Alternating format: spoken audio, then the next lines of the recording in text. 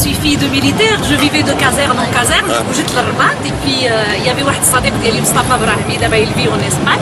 آه، الجندي بن عبد الله قال له جو فو اون في اللي غتكون غوبال وكتلبس الشرطات وهذاك الشيء هذا قال له كاينة وجابني أنا كنت بوطه وداك الشيء ولا وشعري طويل صعير وهذا.